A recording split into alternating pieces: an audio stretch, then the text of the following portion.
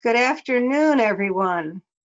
We had a great morning and now we head into the final session. Excited to be part of it. I'm Joelle Fishman. I'm here in New Haven, Connecticut, along with uh, Waleed Ahmed, who is helping me with the PowerPoint, and in Iowa, Joe Henry here in Iowa. Good to be here. Great. So um, you can see from the uh, slide that's up already, uh, the theme we were asked to prepare on winning against the threat of fascism today will be presented in three parts. I'm going to start uh, with uh, fascism, unity, and resistance, and basically a, a kind of overview uh, frameworking. And then um, pass it over to Joe Henry, uh, the key struggle today, voting rights. And then when that's completed, we'll have time for questions and discussion. So I hope it's a useful, um, a useful event. And we're ready now for the next slide. So um, it was just two years ago in the spring of 2020 that we in the Communist Party rolled up our sleeves and went to work with the Dump Trump voter pledge cards and the Vote Against Fascism campaign to uphold democratic rights and the ongoing freedom struggle for people, peace, and planet before profits.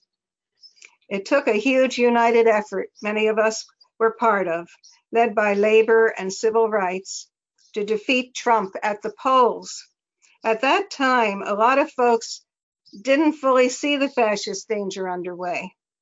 But we sounded the alarm based on our historical experience and our Marxist working class analysis. Then, in January 2021, when the Trumpites and white supremacist elements stage a coup attempt on the Capitol, trying to overturn the results of the presidential election, a lot more people, even in corporate media, began to take a second look and understand the depth of the peril in our country. The draft opinion to overturn abortion rights by the US Supreme Court, uh, stacked with three Trump appointees, is a further alarm. And today's rallies uh, bans off our bodies across the country for women's health and abortion rights, and the solidarity some whole states like California and Connecticut and others are showing are just the beginning. To successfully resist fascism, we have to understand it. So what is fascism? The working class struggle definition emerged out of the horror of the fight against fascism in World War II. Building upon Lenin, it was described by Bulgarian communist Georgy Dimitrov as the open terrorist dictatorship of the most reactionary, most chauvinistic, and most imperialist elements of finance capital. Today, we're talking about the financial, military, and energy sectors of capital seizing more and more wealth and power in the midst of impoverishment of the people. The fascist danger emerges within the continued intensification of the crisis of capitalism worldwide. Fascism's goal is maintaining complete control over the working class and people for maximum profits and global domination. So fascism and democratic rights are like oil and water. They don't mix and they can't coexist. Fascism would dismantle democratic structures, shut down and eliminate the ability to have a voice, to assemble, to organize, or protest. Fascism relies on sowing hatred, fear, and division among the majority in order to create a mass base that accepts the role of the dictatorial few. Obstruction and sabotage of normal government functioning is a fascist tactic. Blocking nominees was used as part of the economic sabotage campaign that overthrew the Socialist Popular Unity government in Chile in 1973, for example. Republican leaders in the US Senate House, and state houses increasingly show a fascist-like contempt for truth, democratic process, or the national interest. They'll do anything to gain power. Consider, for example, the notorious Koch brothers, whose financial empire emanates from exploitation of oil and gas.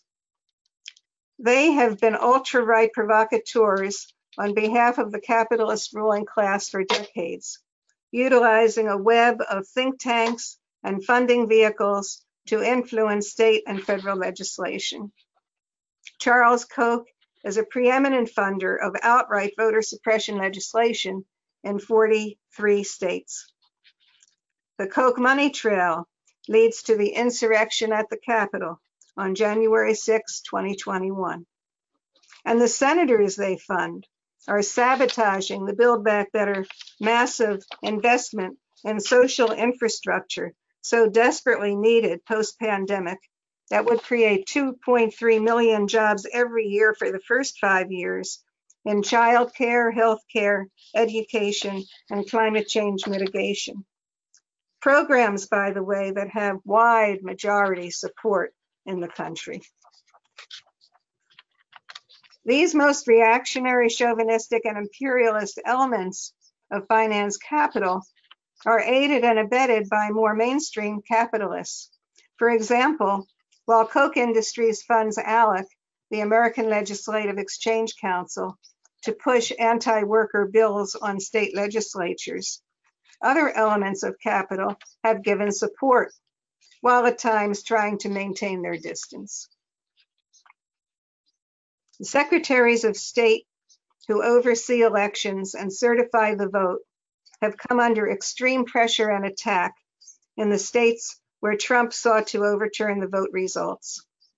Executive director of the state's project issues this grave warning, quote, what's happening in these states is the single greatest threat to our democracy since the Civil War era, end quote.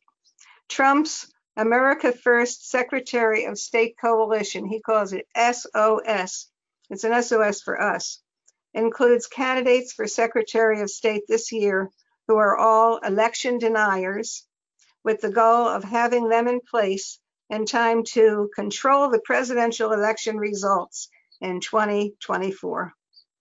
The Attorney General in Michigan, considered ground zero, said, quote, this is a choice between whether or not we'll have a democracy moving forward.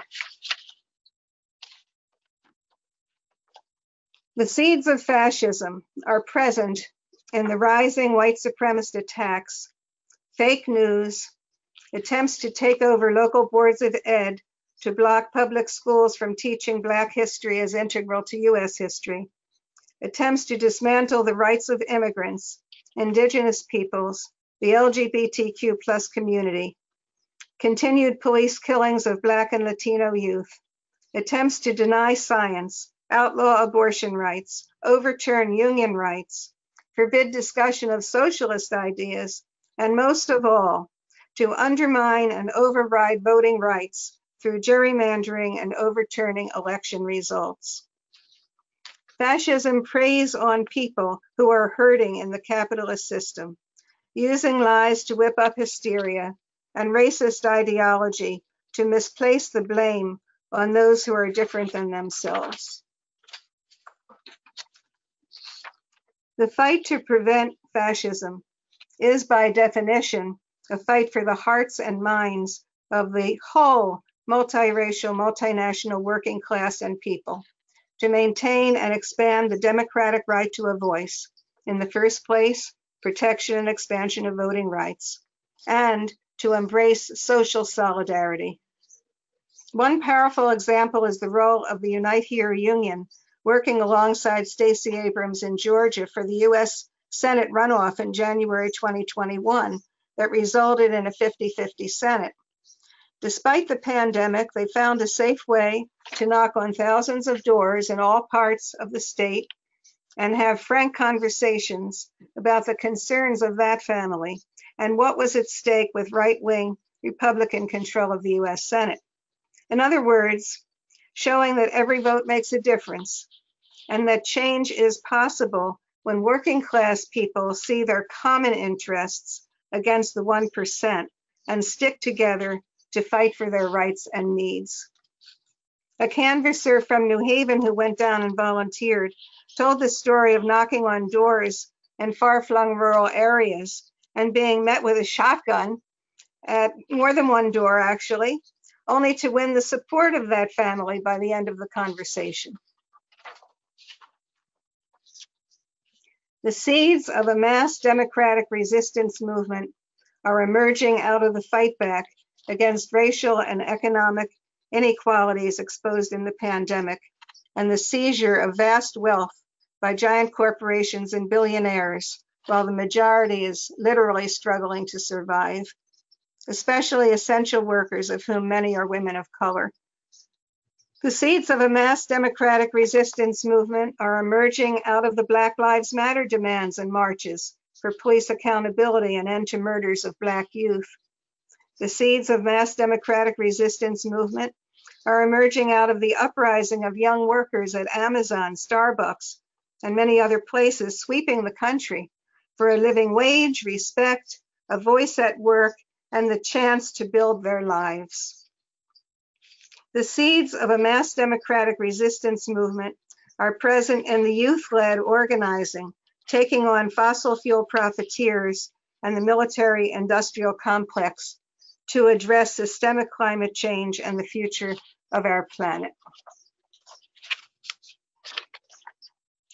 To be strong enough and large enough to successfully resist the drive toward fascism, Dimitrov and the communist movement argued that the lessons from Hitler fascism's rise to power show the need for broad unity, what we call today the All People's United Front, that includes the multiracial working class, along with democratic-minded forces from all social strata.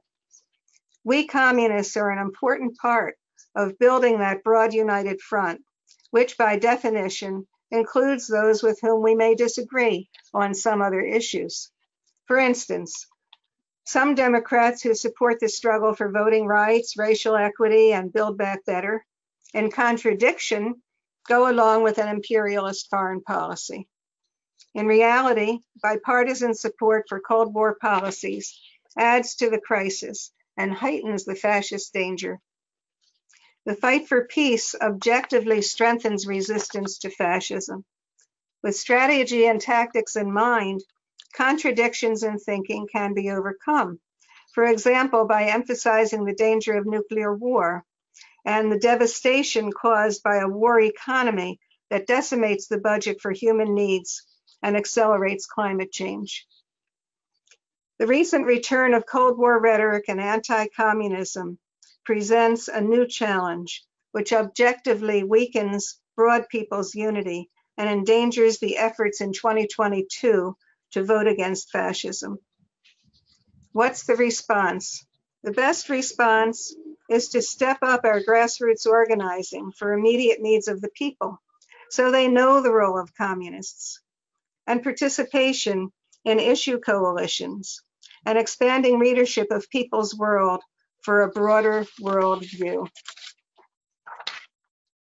One great example is the workers at Amazon in Staten Island being introduced to and guided by CPUSA leader William Z. Foster's writing on organizing in the steel industry from the last century. The fight for democracy and broad unity to resist fascism is not separate from our socialist vision. It is a vital part of the road to get there. Organizing to preserve democratic rights and voting rights and reject bigotry opens the door to engage with neighbors and coworkers and friends in the larger daily struggle to qualitatively expand those rights beyond capitalism. The seeds of socialism are present in the uprisings underway, which are objectively taking on the contradictions of capitalism and its interwoven systemic racism, exploitation, and imperial strive toward war. These struggles are connected to the movement for socialism because a growing number of people, especially youth, realize that capitalism is responsible for all the inequalities they experience. Our program calls for Bill of Rights socialism. We want to qualitatively expand democratic rights for all components of the multiracial working class and people. Our goal is to contribute toward building a massive movement that wins control of its own destiny. As Jarvis, as Comrade Jarvis Tyner said, quote, the very fight for democracy is a radicalizing struggle that has and will transform the capitalist system. In practical terms, what are we called upon to do today? As the saying goes, organize, organize, organize. A strong Communist Party and YCL is an integral part of the broad All People's Front. We bring our ability and commitment to raise class consciousness so people can see their place in the struggle. As communists, we understand that building the union movement and the fight against racism raises up all other struggles. The experiences building workers' power at Amazon and many other workplaces are at the heart of also building our party among the working class.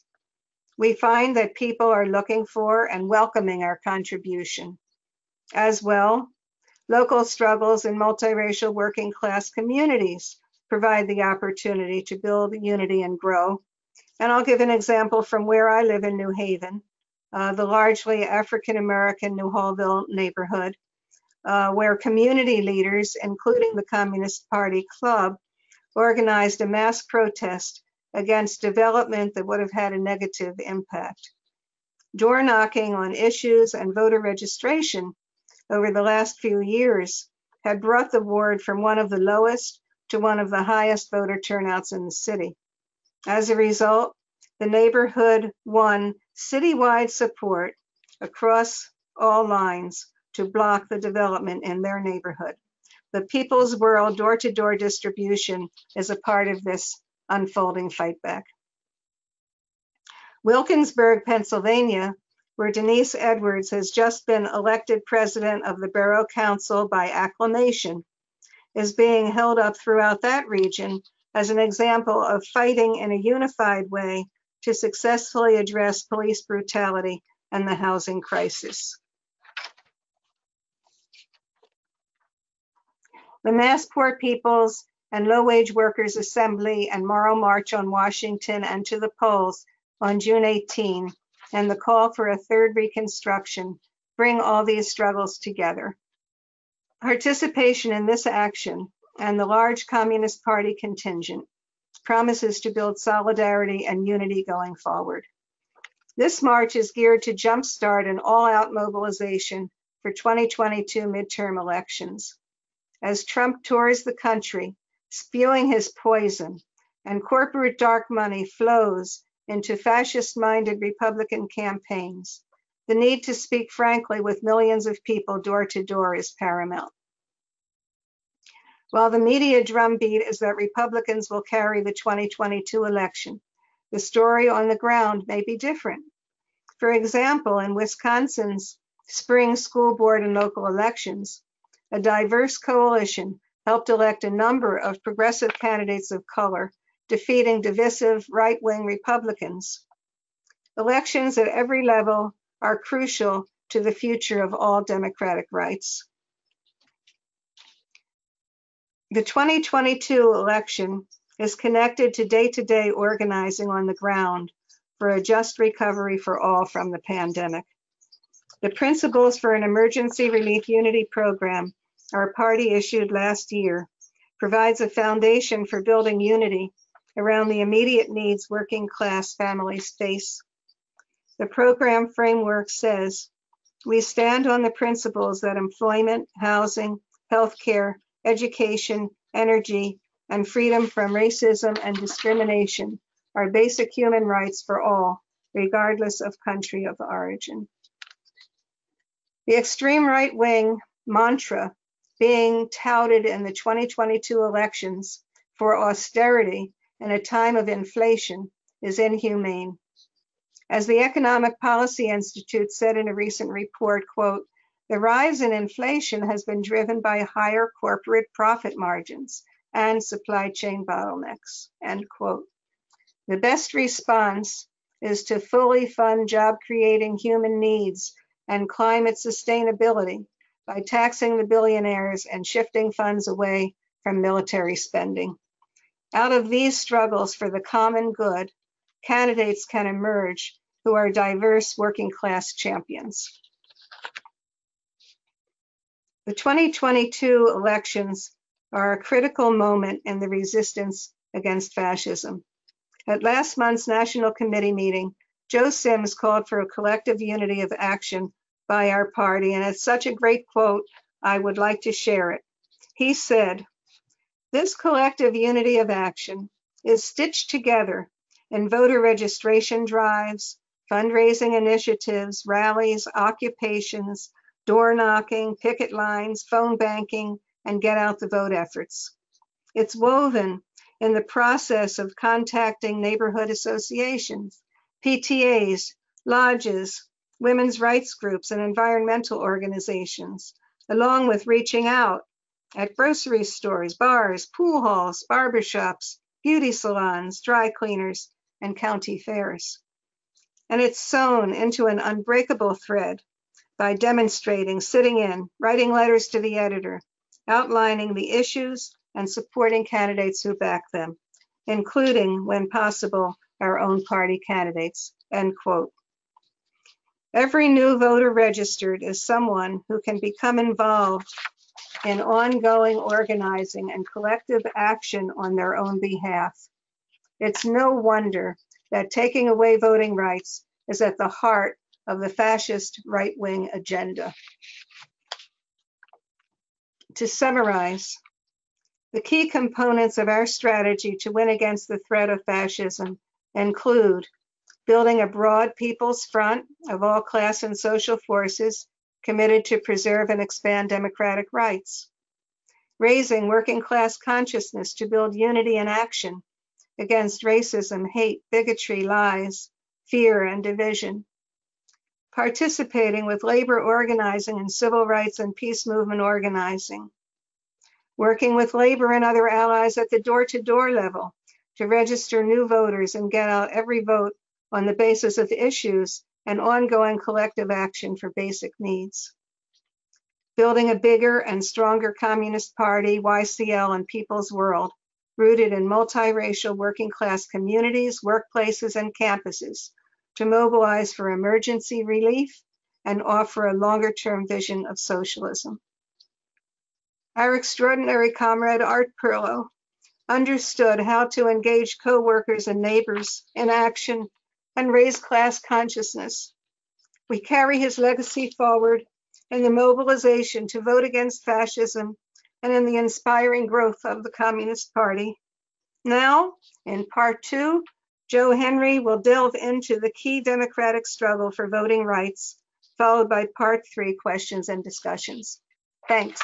Joe, the floor is yours.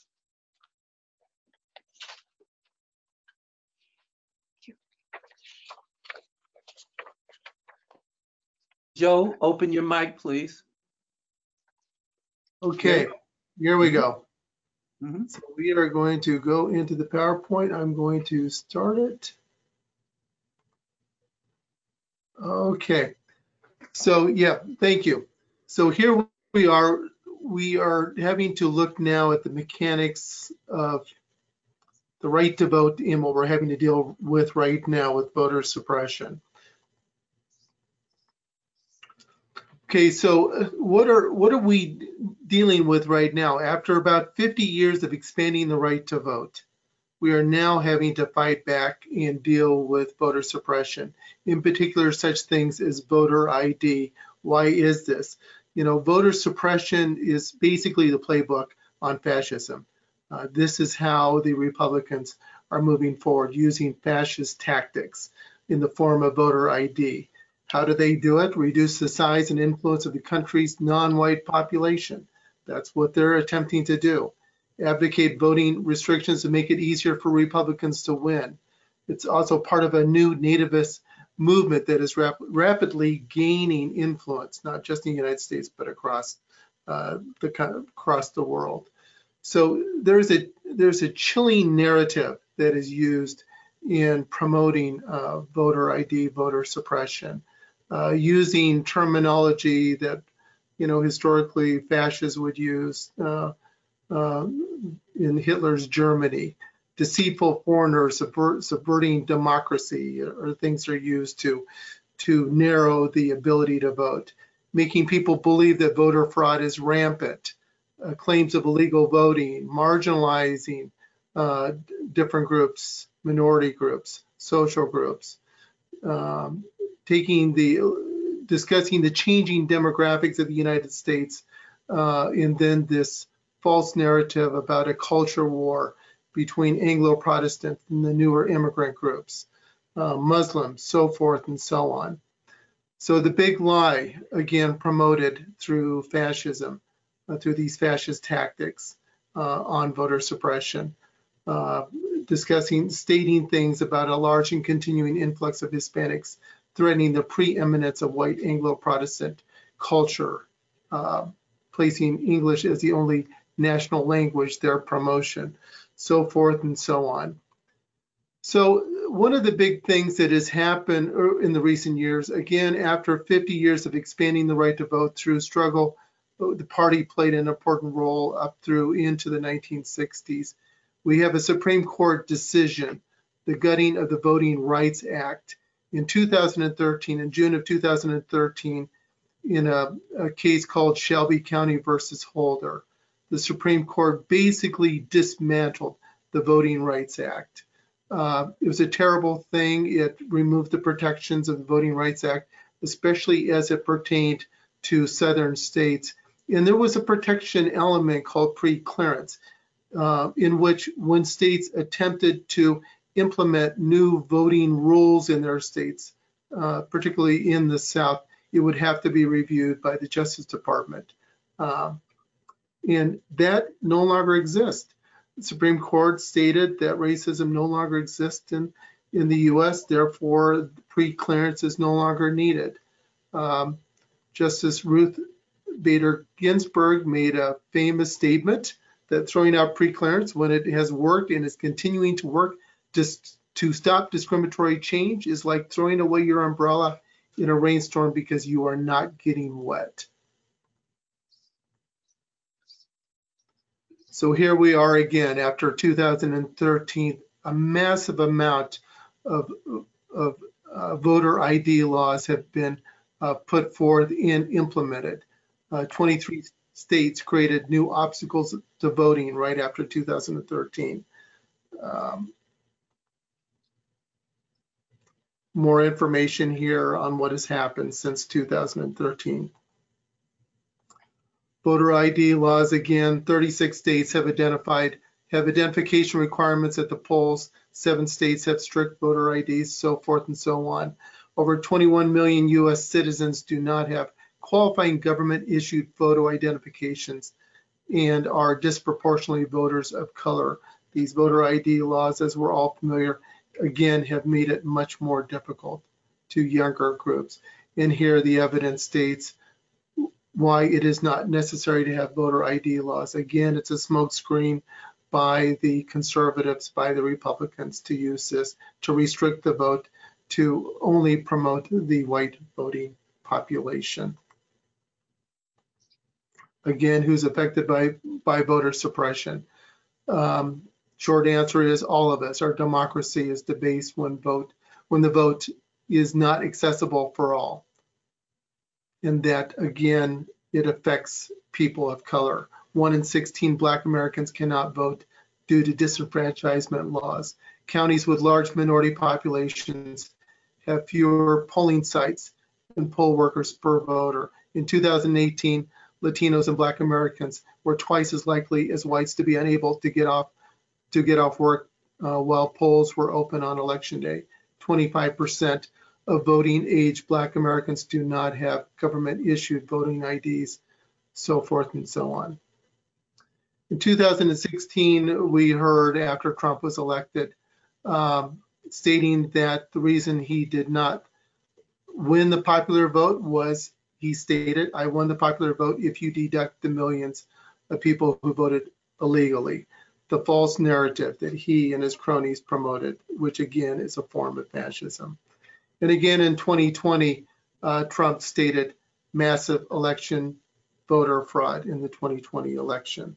Again, the false narrative part of fascism. Um, 2018 found election officials had closed thousands of polling locations, which going back to that period of time began again the restriction on the right to vote, closing of polling locations, impact all over the country, its impact on people of color. Voter registration res- restrictions, restricting the term and requirements of registration is one of the most common forms of voter suppression. Restrictions include requiring documents to prove citizenship identification, onerous obstacles for voter registration, limiting the window of time in which to vote. And again, we had said before, over 37 states after 2013 Supreme Court decision uh, uh, moved towards having these type of requirements. Kansas being one of them where they had actually required voters to show a birth certificate or a copy of birth certificate. What was interesting is that in 2018, there was a mass mobilization of voters, even in the midst of voter ID, voter suppression. Uh, the movement was just historical, which led up to 2020 and the election of President Biden. But again, we have been hit hard with the criminalization of the ballot box.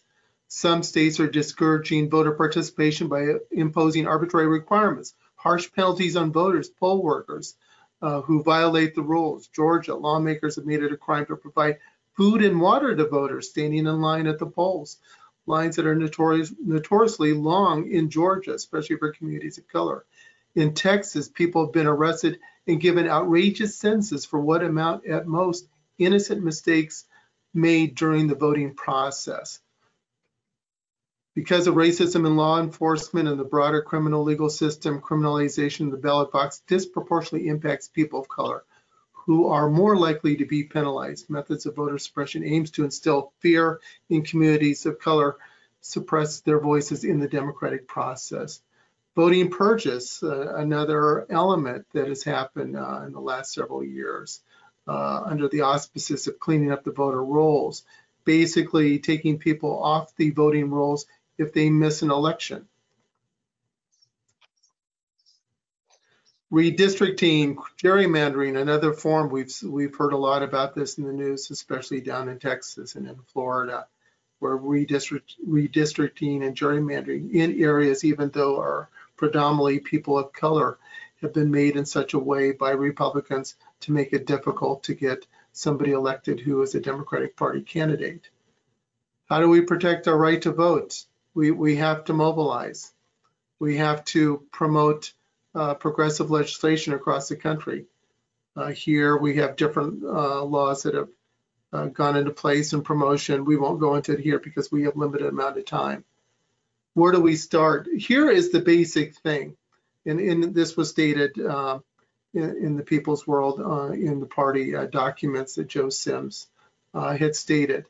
Collective unity of action with neighborhood groups, PTAs, lodges, women's rights groups, environmental organizations, doing voter registration at grocery stores, bars, pool halls, barbershops, beauty salons, dry cleaners, county fairs, joining a massive voter registration campaign, League of Women Voters, NAACP, Stacey Abrams uh, Group's Fair Fight in the New Georgia Project Action Fund, Common Cause, League, uh, League of United Latin American Citizens, um, participating in these registrations drives, not in not just in your states, but in in other states, focusing on voter suppression states to overcome the foes with their numbers.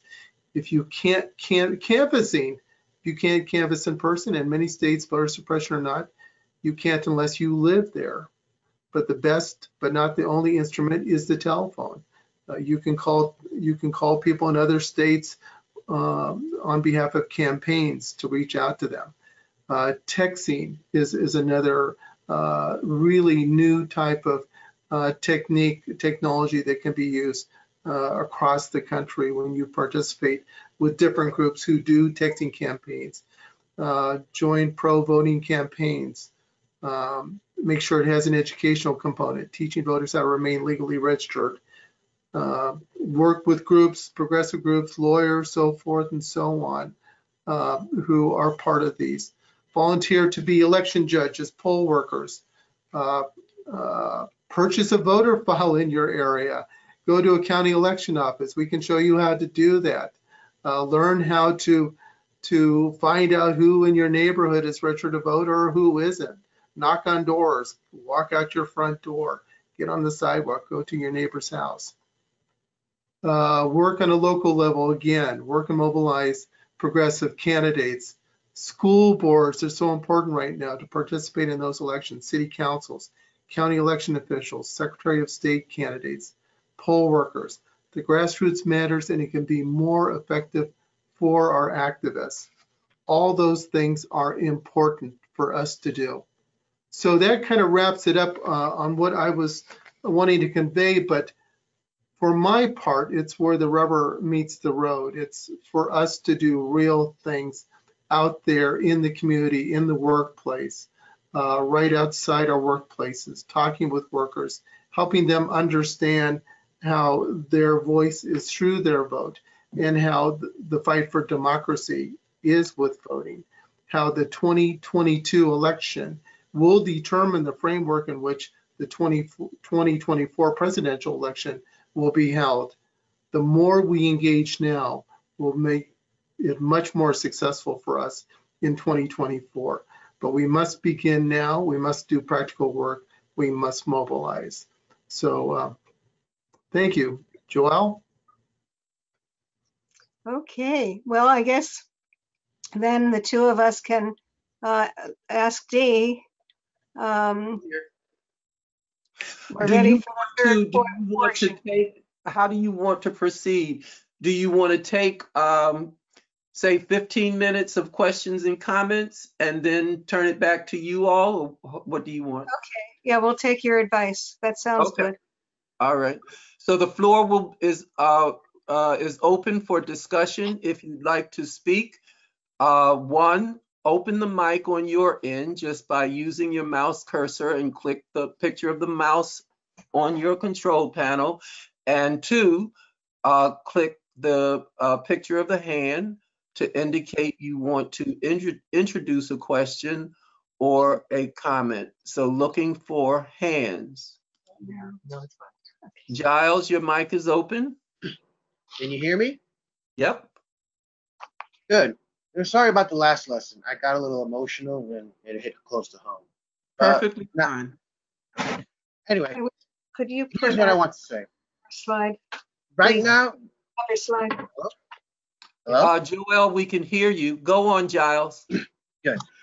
yeah, right now we are in a time where people are questioning capitalism.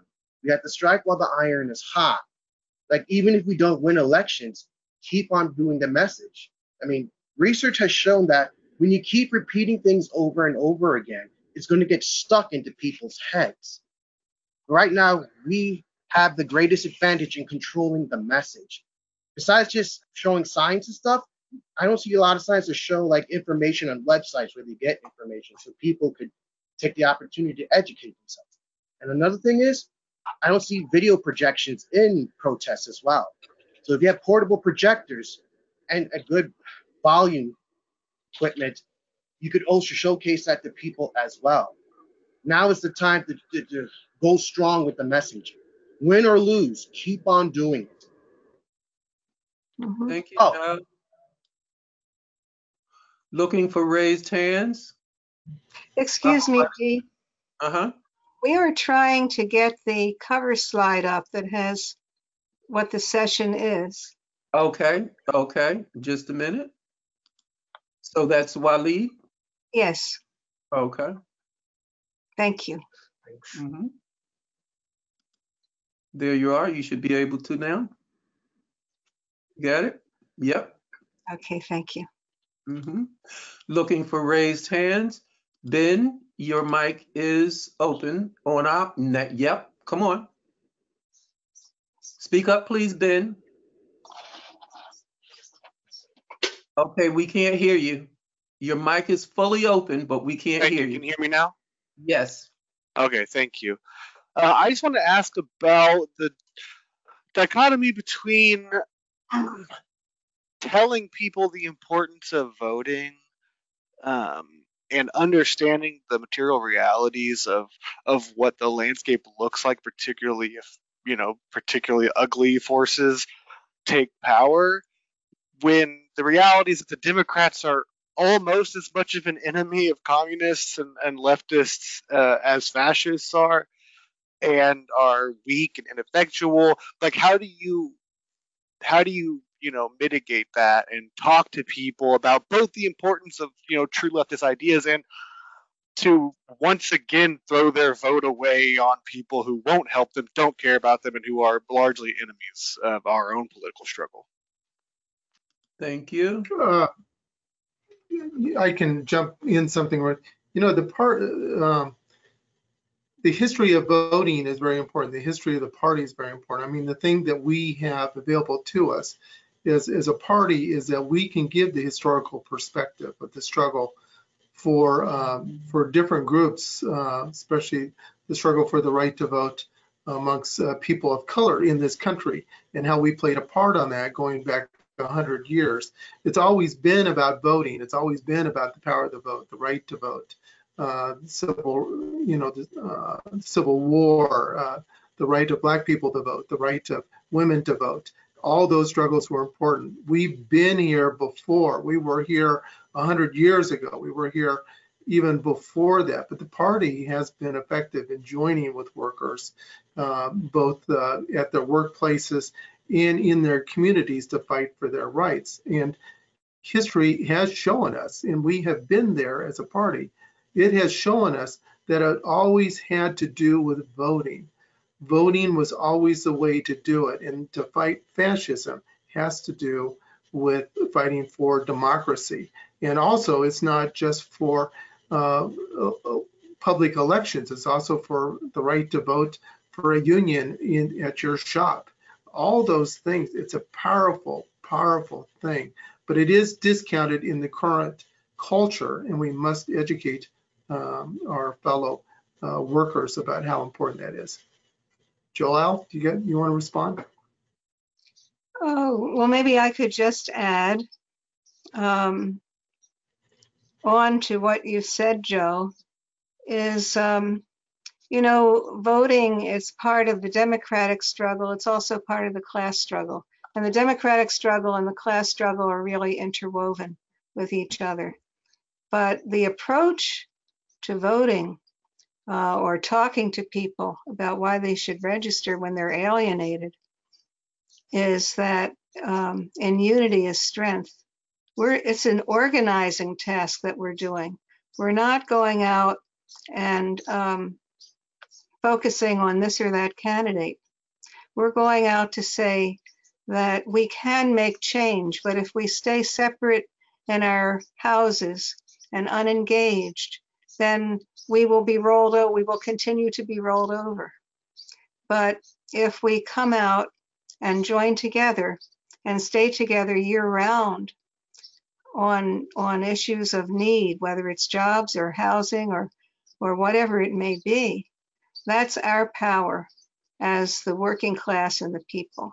So I think that if you start, if the starting point of elections is from a different vantage point, I think when um, in the earlier class, I think it was D, but um, the idea of an individual approach versus a collective approach.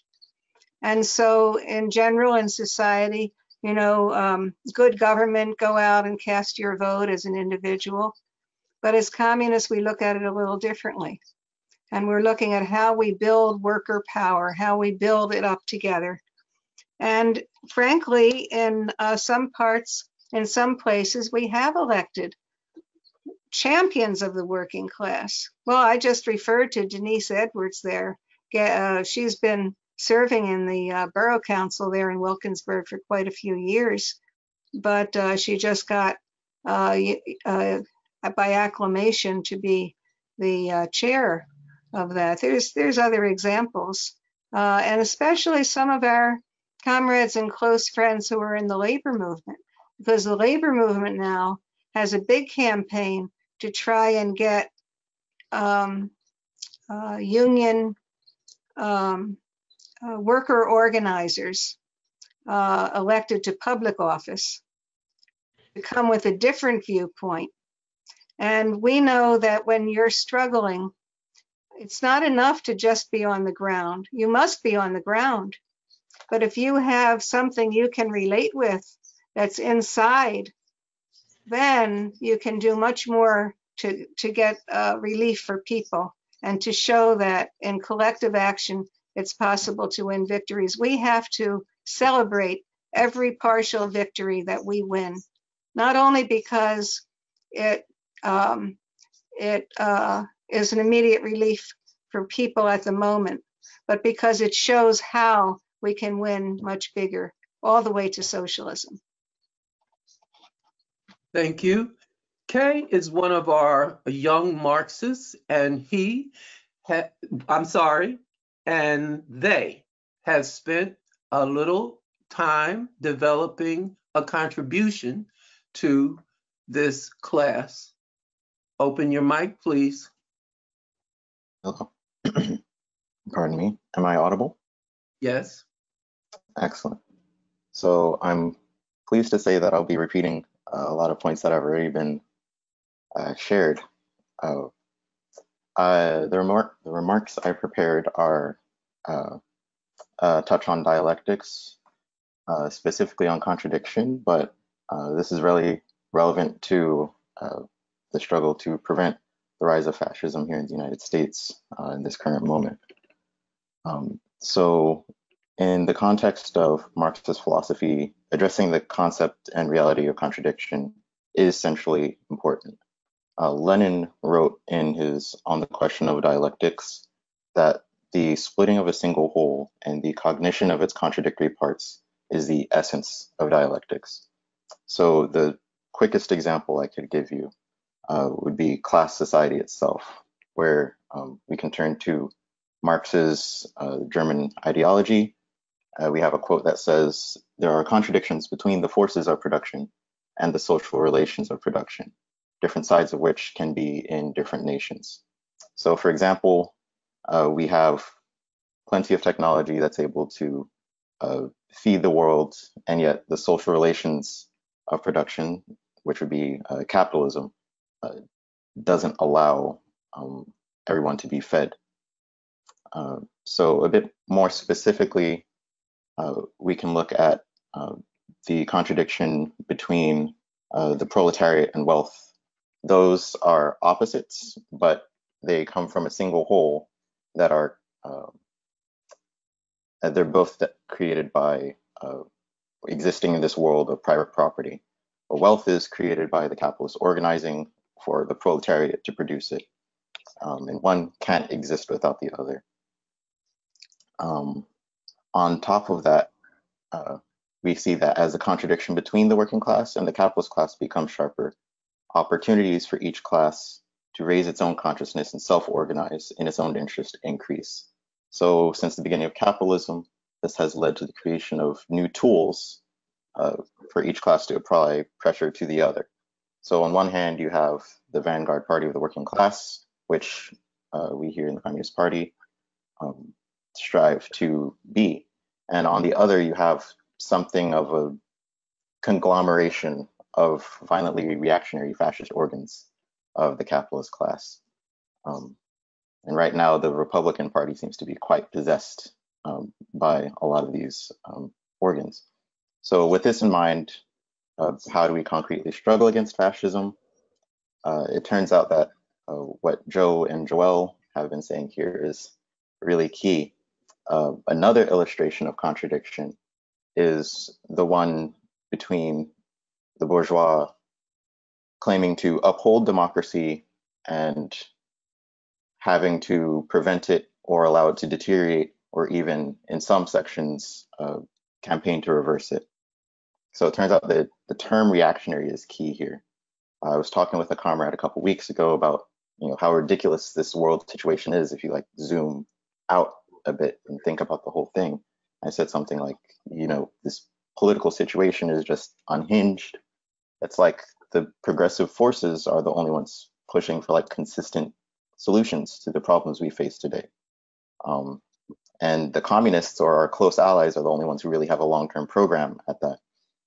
Um, so and I said something like, you know, the people have a habit of calling politicians hypocrites for saying one thing and doing another, um, whether it be the Democrats or the Republicans. And we've seen that both over the past few years.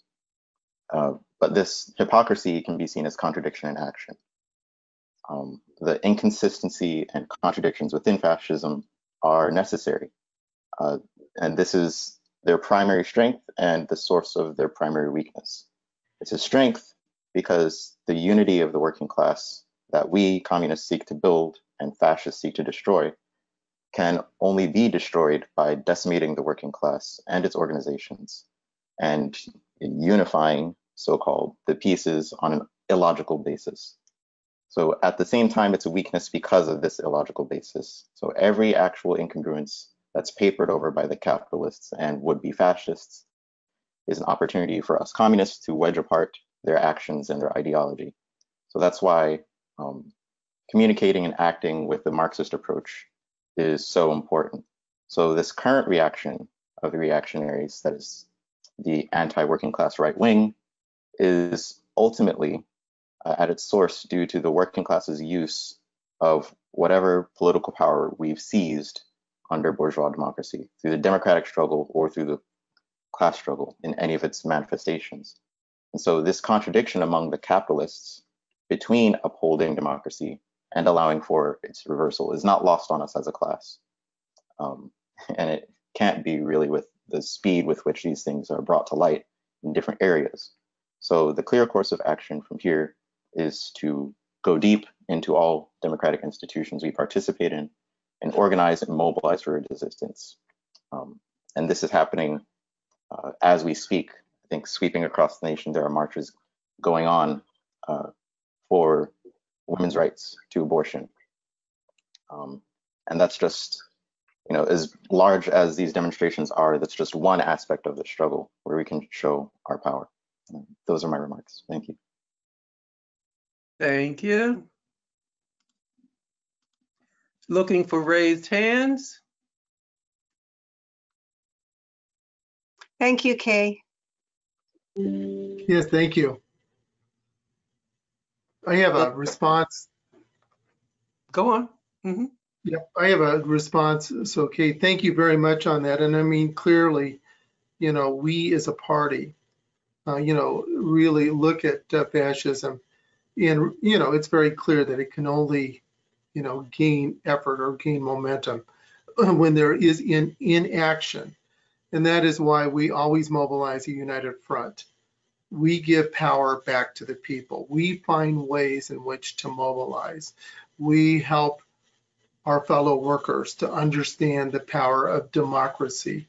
Uh, whereas the bourgeoisie, as you had indicated, the trapping of what they do is they attempt to, they promote democracy to a certain extent, but they, they do it through monetizing it. Whereas we provide the tools, we help workers realize the power of democracy to promote the issues that are important to them, important to us. So clearly what we've been doing and, you know, uh, Joelle, myself, comrades over 100 years is we find ways to amplify our voice. We become the spark plugs within any type of group that's out there that we are a part of. We raise our voices, we bring in the, the issues and the mechanics on how to get things done. And we fight fascism by moving from inaction to action.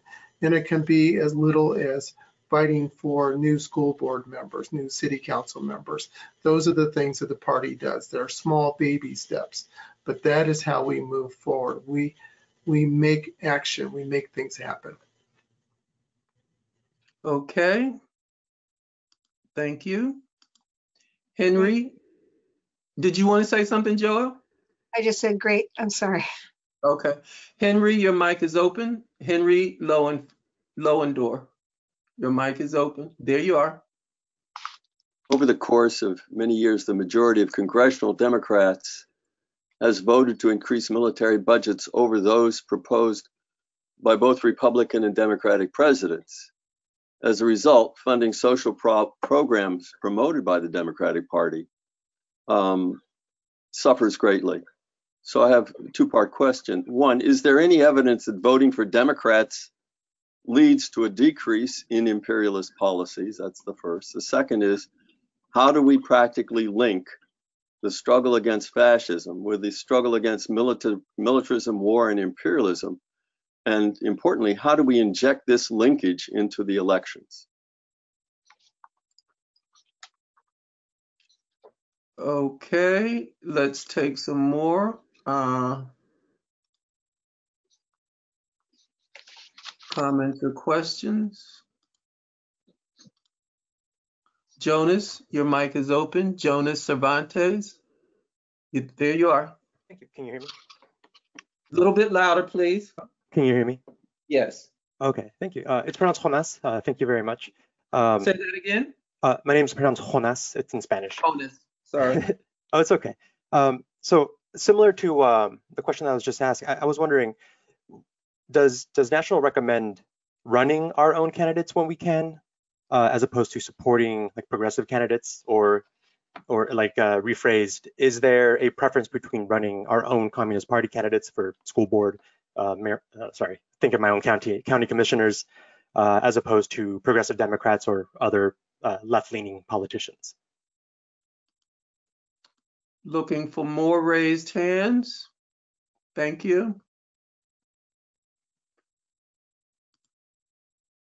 Michael Madden, your mic is open. Michael Madden, your mic is open. And it's open on your end too. So, um, uh, thank you for seeing that the sign was up. I just have to say, Dee, what has been brought to bear in this Saturday event, uh, to me is, is a, uh, phase shift. Everything that's been presented, starting out with your comments and Scott Hiley, is like the light has turned on, the clouds have been pushed away, and we see the way forward. So my observation is, this is, you broke through and done this, Dee, and all of your colleagues this is going to be the start of an ongoing um, educational process to go on social media, but also perhaps uh, paper-wise to have in the clubs. Because what you've really done here, Joe and and uh, the, the comrades from Connecticut, is realize we're in a different time now, and we need to be able to explain the facts of life in an elemental way, Dee, and you've done it. So my only comment is all power and keep going. Thank you very much, Dee. Uh, the comrade from Connecticut is Joelle Fishman. Thank you. All right, looking for, for raised hands. Michael, your mic is open.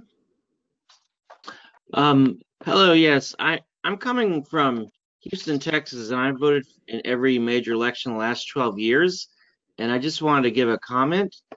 Uh, this year, when I voted in the primary, they had changed the voting machines and they're much harder to use now. Uh, previously, the machines, you did everything at one machine, the machine was covered, no one could see your vote. That's different now. Now there are two machines, the coverings are gone, everyone can see your vote. You walk past, you see who you're voting for, and then you do your work at the first machine, and then there's a second machine you have to go to. And there's probably 10 of the first machines and only one of the second machines, which creates this giant bottleneck where everyone has to just line up to go to this one machine. So I guess mm-hmm. my comment was going to be even the basic just practicality of putting in your vote in the machine itself is now really very frustrating and very inconvenient. So I just wanted to comment because I'm I'm in Texas and that's that's what's that's one thing happening here. Thank you. Looking for raised hands.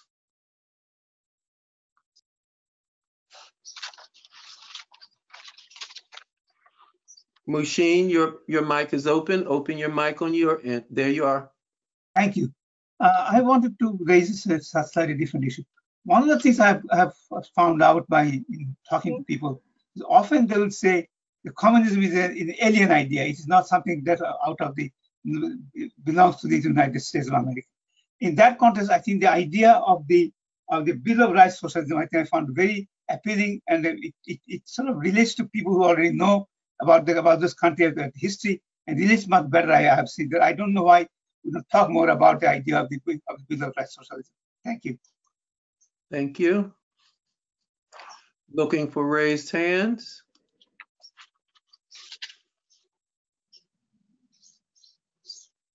Looking for raised hands. Well, Dee, maybe we should take this group now. Okay. right. Um, so Joe, do you want to start? Would you like me to start? How, how should we do this? Uh, You know what? Uh, I'll take one. How about you take the, there was one about uh, militarization on Yes, that. So, you know, I, I'll just give a few cents on that one and then Joelle, you should jump in. So, you know, decreasing the military. I mean, this is something that the party has been part and parcel of fighting uh, against military buildup, uh, funding of the military. But going back in my early days in the 20s, we were, you know, fighting for a nuclear freeze. Uh, in the 1980s, we were mobilizing marches, participating in those, which led to a treaty back in the 1980s. And then, of course, uh, in the early twos, uh, during the presidential election of 2000, we were promoting uh, a decrease in the military budget through different United Front groups across the country. So we've always been a part of that, but you know, the history of how we were engaged, how we participated, and in which ways did we mobilize in our United Front effort, you know, we need to discuss that more, but we've always been a part of that throughout the country. You know, uh, from the 80s to the early 2s, you know, there were a number of groups that I was a part of, uh, and they weren't even uh, part of the union uh, effort, which was another big area. So it does happen. We are part of it. It's significant um, rollbacks in military spending versus human needs spending. We've seen improvements on human needs spending. We've also seen improvements on the right to vote, uh, to unionize, um, things like that too.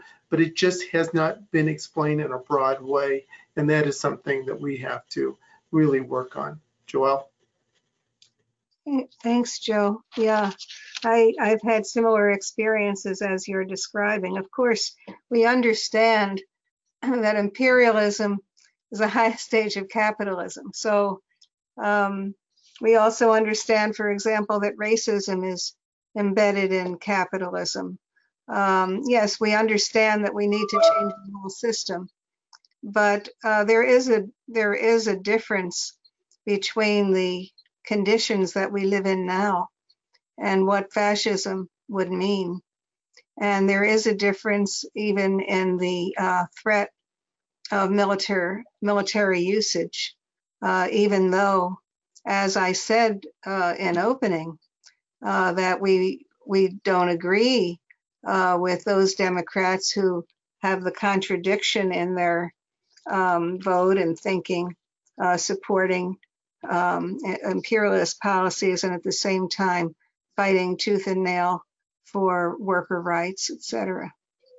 So, uh, with that in mind, I think the thing that we can highlight and do, and it refers back to what Joe Henry was saying, is put our shoulder to the wheel on the issue of the military budget, as the as Henry asked in his question. Um, and I was very excited. I attended a uh, partner, our New Haven People Center is a partner with the um, Poor People's Campaign March on Washington, June 18.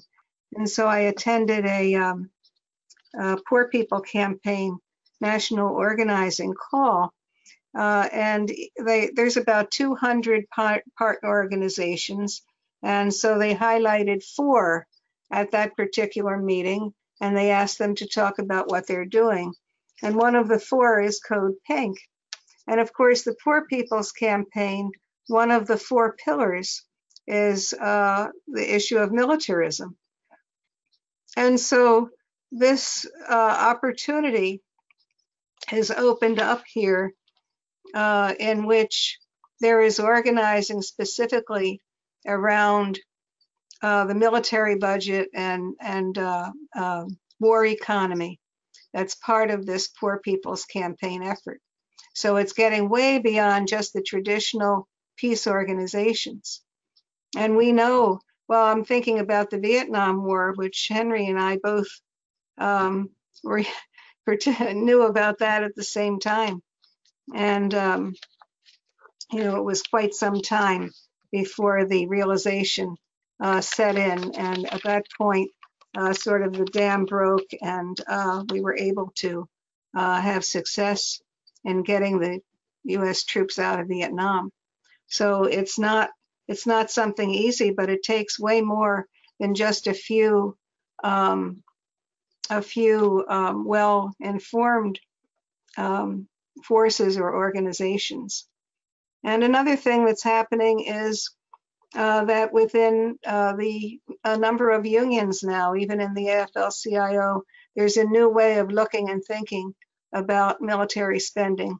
And that has to do with coming out of the pandemic uh, and the need for uh, all kinds of um, huge spending um, uh, for uh, essential workers and for the community.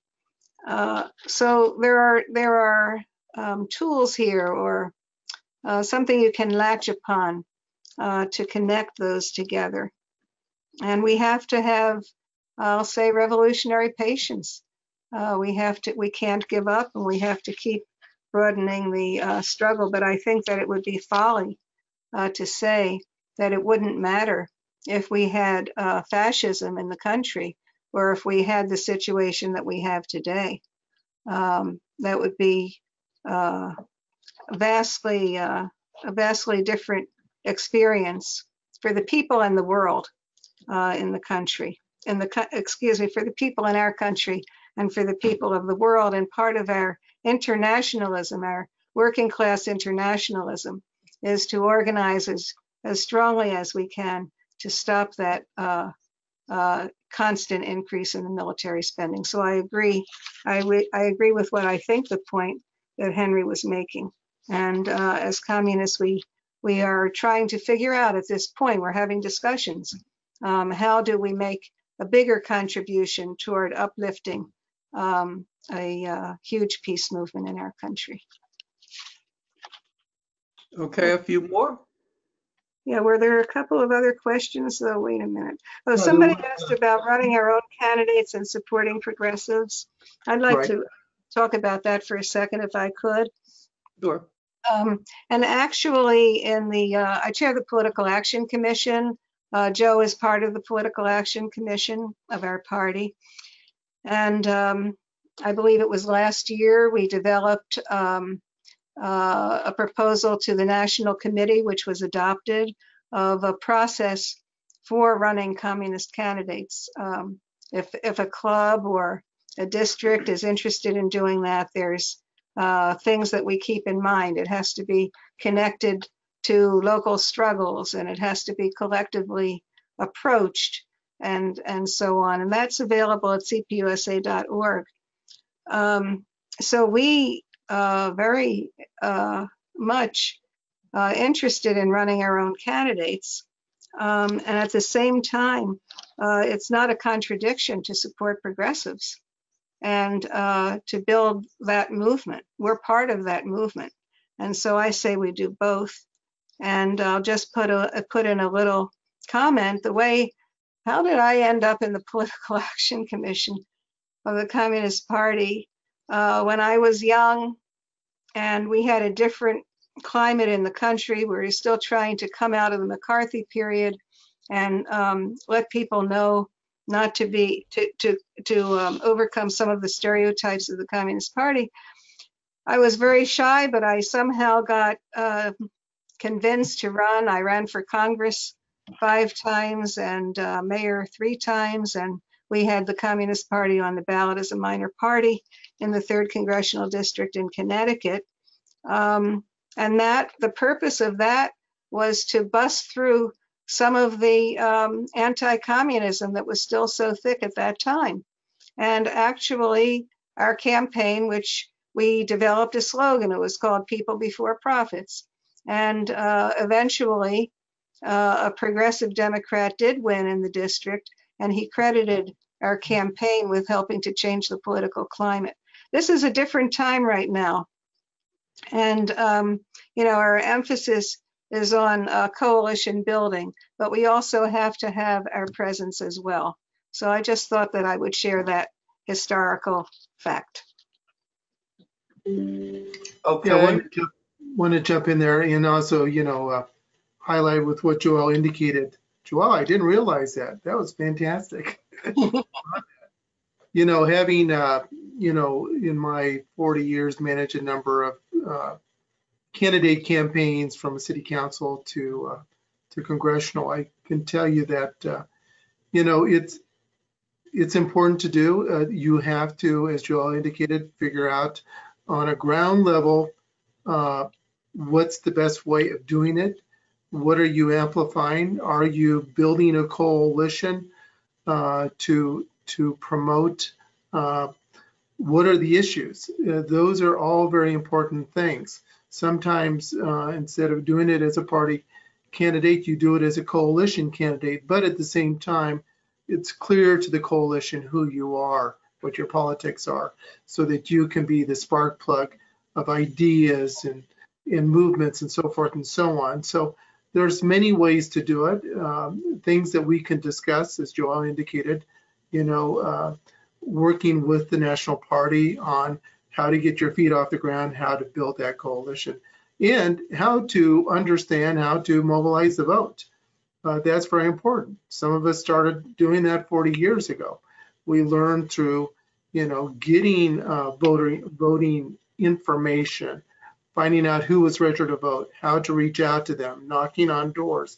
All those things are very important. You can't you can't go to the mountaintop unless you start at the bottom. You really have to work your way up. So I would encourage anyone who wants to get involved in in moving towards candidate elections to work in the grassroots to become engaged in be it Democratic Party politics or non-party politics. Very, very important. Okay, a few more? Do you want a few more or do you want to end? Well, if there aren't more, I think it's been, There, Oh, there are a couple, a couple, there are two more. well, let's Oh. take two more. Is that all right, Joe? Yeah, we got time. I'll make some more coffee. Okay, Shay, your mic is open. Shay, your mic is open. Yeah, um, I really like this talk. Um, uh, Against Fascism War is a really great book. One, uh, a companion book I think is really good is um, A Shock Doctrine by Naomi Klein because it described how the speed of events uh, is important to like shock the populace for them to allow their political uh, agenda to pass.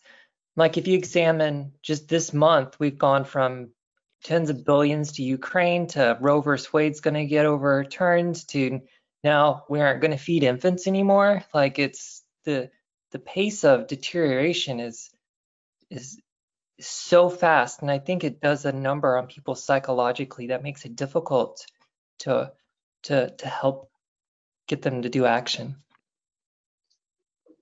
Thank you. And one more.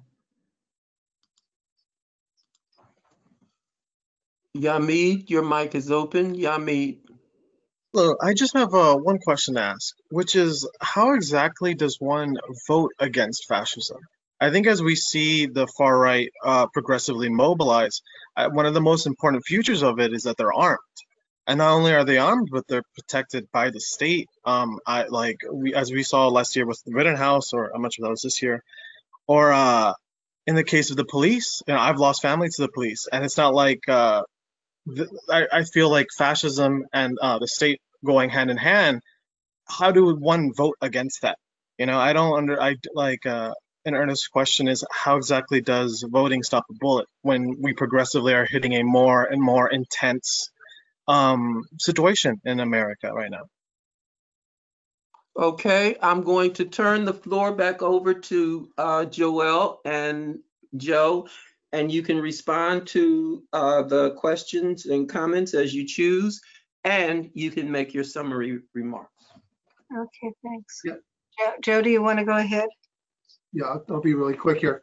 I mean, uh, the, the the quickly changing environment out there has indicated uh, a lack of action on behalf of a number of different groups over a period of time where we as comrades can really help change that and put things into motion.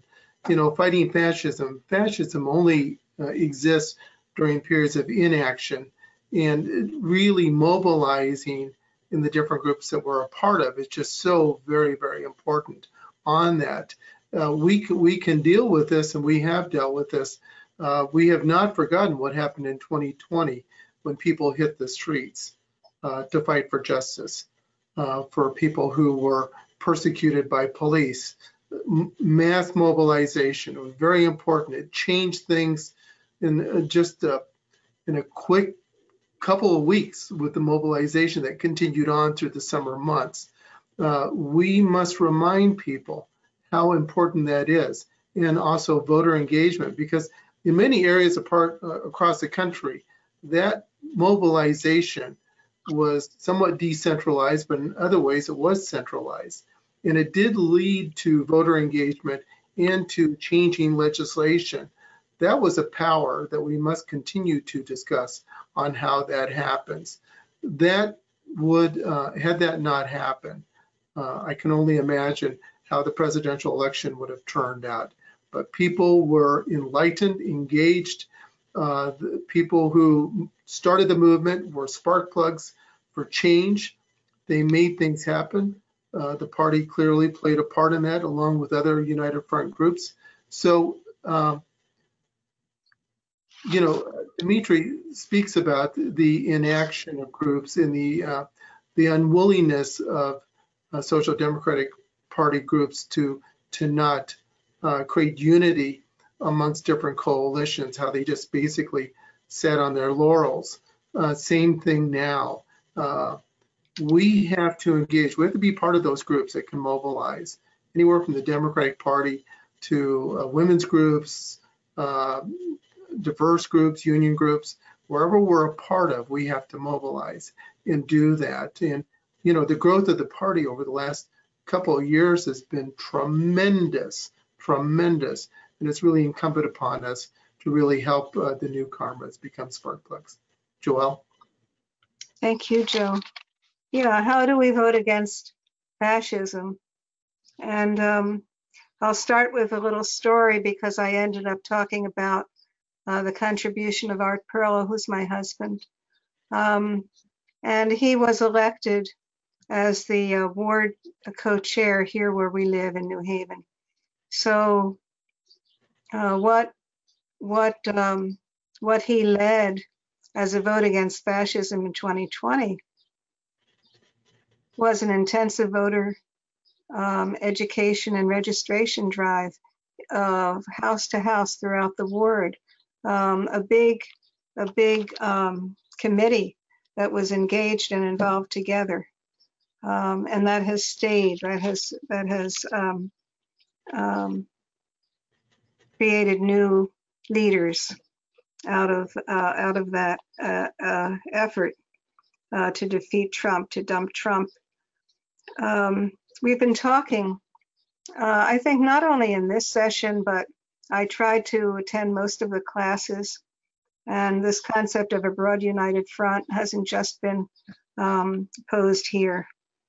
So when you think of this broad united front now, imagine uh, in, I think it's Pennsylvania, and some of the states where the Republicans have had their primaries, uh, not their primaries, their uh, conventions, and they've chosen people to run who were actually there and part of the coup attempt on January 6th, who are running for Secretary of State, for governor, and for um, Attorney General. All right. And then imagine that the uh, opposing candidate, who happens to be a Democrat, is standing up for the right to vote and expansion of voting, voting rights and holding accountable those who were uh, part of that coup. So that's how you would vote against fascism. First of all, you would get people engaged in your community. Um, you would look at the issues and make sure that the fascist minded candidates um, are resoundingly defeated. Um, you take the example of Roe v. Wade. There are candidates, Republican candidates, being nominated by their party who not only are happy if, if the Supreme Court does away with Roe v. Wade, but would like to have a national law in the whole country that would outlaw abortion rights in every state versus a candidate who says, I uphold the right of a woman's uh, reproductive and health rights. So that is a clear, to me, um, choice and a way to vote against fascism. So it's building an ongoing movement. This is not a this is not a one election story that we're talking about. It's building an ongoing movement as as Joe has um, presented so uh, carefully.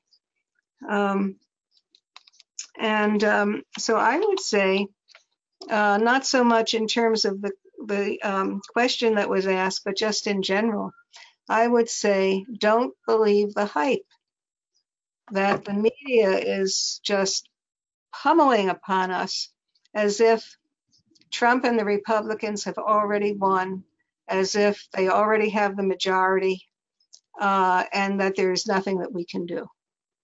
Don't believe the hype because it doesn't have to be that way. If we can out organize and uh, on the basis of the, the issues, on the basis of a woman's right to choose, on the basis of the right to vote, one person, one vote, uh, on the basis of ending hunger and homelessness and moving money out of the military budget.